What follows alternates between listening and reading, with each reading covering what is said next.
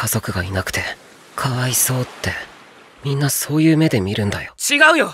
俺は単純に気になって話してみたかったんだよ。ただの下心だよ。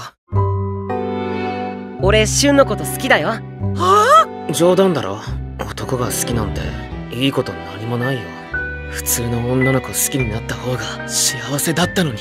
俊は俺が帰ってきて迷惑だった。いつか好きになった相手とそんなこと絶対叶わないと思ってた。